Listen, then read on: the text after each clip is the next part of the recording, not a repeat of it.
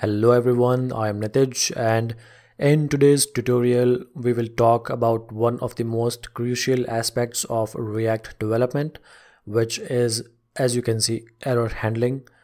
We will explore how to effectively use error boundaries and custom hooks to make sure your React applications are more robust and user friendly. So React has always been known for its efficiency in building dynamic user interfaces, but sometimes encounters errors that can break your application. But with proper error handling, these issues can be gracefully managed.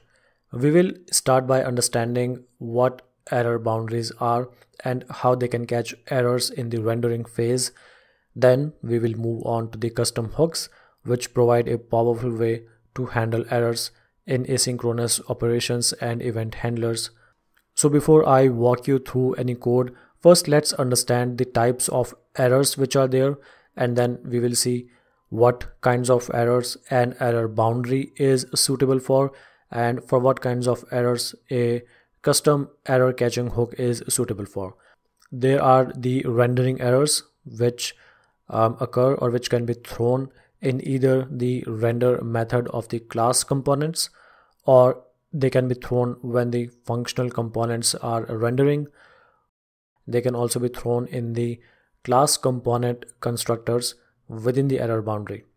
Next are the lifecycle method errors, which are, as the name suggests, are thrown in the class component lifecycle methods. So there are a bunch of different lifecycle methods like component did mount, component did update, etc and if any error is thrown in those lifecycle components then they will be called as lifecycle method errors. Next is the children components errors which can be thrown in the child components. The child component can be either a class component or a functional component. So when any error is thrown in the child component then they are called as child components error. Next one is the context provider errors so the errors thrown within a context provider, which is a child of the error boundary, are called as context provider errors. So many of you might be thinking that you are hearing for these error classifications in React for the first time.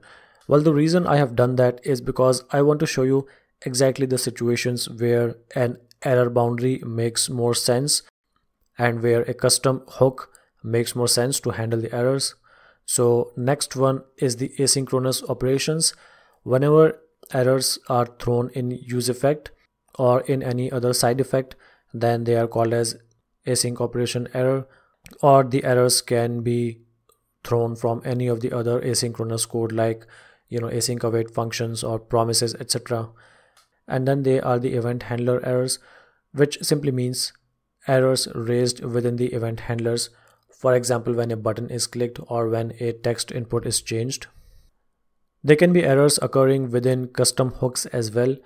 So hooks can be composed of different hooks as well. So if there are errors which are occurring in those custom hooks, then they will be termed as custom hook errors. And then state management errors, which simply means um, when there is an incorrect state update in a functional component, then Errors related to that can be categorized under state management errors. Then there are the server side rendering errors which um, cannot be caught by any of the client side rendering process but they can only be handled based on the error message which is returned from the server or the um, you know status code which is returned as the response of any API call there could be external API or dependency failures, like for example, if we are using any third-party library, the errors which are occurring in those third-party libraries can be categorized under external API failures. There can be user-generated errors, like you know generic errors, which are triggered by user actions, and they are like very much unexpected. Like um, for example, you cannot um, really predict what those errors can be now let's talk about error boundaries and custom error handling hooks and we will see where each one of them makes more sense. So as this description says, the error boundaries are designed to catch the errors um, in certain parts of a component tree and they display a fallback UI instead of the um, crashed component tree with a with an error message and these are the scenarios where they will be useful so it simply means these are the errors which error boundaries will absolutely catch. And those are the rendering errors which I have already explained. Those are the lifecycle method errors. The errors which are thrown in child components and the context provider errors. Now there are some errors which error boundaries will not catch. The errors which are raised within event handlers which are thrown in asynchronous code the errors which are thrown in the error boundary itself also will not be um, caught by the error boundary. And the errors which are thrown in the error boundary children can only be caught within the error boundary. And also the server side rendering errors will not be um, you know caught by the error boundary. So this simply means when you are creating and using error boundaries then they are not a catch-all situation kind of thing you will still have to use custom error handling for your components. Now let's talk about the custom error handling hooks. What kind of errors these hooks will catch? First one is the async operations error which simply means as i have mentioned earlier any errors which are thrown in the side effects or performing data fetching subscription uh, etc and async functions and promises and in event handlers too we can use these hooks. And i will show you in the code example how these hooks can be created and then integrated with components.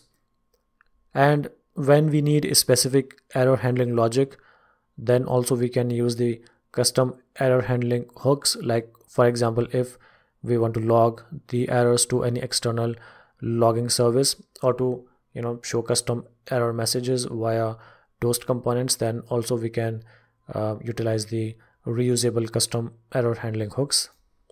They will also catch the errors in you know incorrect state updates in our component and they can also handle errors in custom hooks which can be used across the different components.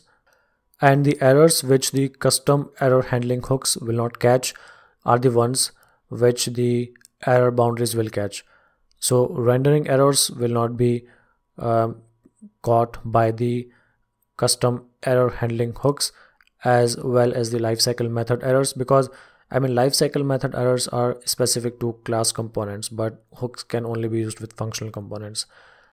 Alright now in the project let's now see the examples of each of these error handling so um, error boundary and custom error handling hook and how we can use it with the component. So first let's see how to use error boundary. So this is a react project which i have created for this specific purpose. This is the error boundary component and error boundary component can only be a class component because we have to implement the get derived state from error lifecycle method. So whenever there is any error then we just have to set state property has error and when this will be done then the component will um, re-render based on this state update. And we just have to provide or display to the user a fallback UI whenever the um, the get derived states from error is called. Otherwise we can simply show the error boundary children. Now the way to use an error boundary if you don't already know is to simply um, use it as a parent component for all the um, childs which are there you can use multiple different kinds of error boundaries to show different kinds of um, fallback UIs or you can use centralized state management to configure what kind of fallback UI you want to show for any specific kind of component. So this is how an error boundary can be created and used. Now let's talk about the custom error handling hook. So I have created one with the name use error handling. And what this hook will do is it will simply create a state variable with the name error and set error and it will return these two um, items as well. So inside any component this use error handling hook can be initialized and the component can then use the handle error to uh, you know handle any error by providing it as an argument to this function. And inside the handle error function you have to set the error as well because this error state variable can be used in the component to listen to its changes in the side effect hooks. And then you can do other stuff as well like logging the error to any external third-party service. And now let me show you the component code how this hook can be used so you will just have to import it and then initialize it. It will return the error state variable and the handle error function. Now if in the catch block there is any error then you can simply call handle error. And in the rendering phase of this function if there is any error then we can simply return a fallback UI something like this with a message. But if there is no error then we can simply return our um, components JSX HTML now as I have already told you the asynchronous errors will not be relevant to the error boundary. So for async functions errors we have to absolutely use some custom logic. And the beauty of this error handling hook is that it is a reusable piece of code. So multiple components can be composed by using this error handling hook. And listening to the changes in the error state variable. If it is initialized or if its value is not undefined then we just have to fall back to a message for the user or you know display the entire component but gracefully fall back to some default values. It depends on your exact requirements how you want to handle the errors if you want to fall back or if you want to gracefully handle it. So to wrap up effective error handling is essential in building resilient react applications error boundaries protect against rendering errors while custom hooks gives us the flexibility to manage errors in asynchronous code and event handlers and that was all this video has to offer. Thank you for joining me in this deep dive into React's error handling. If you found this tutorial helpful, then please consider subscribing to stay updated with more content like this. Your support means a lot. This is Nitij signing off. Keep coding and I will see you in the next one.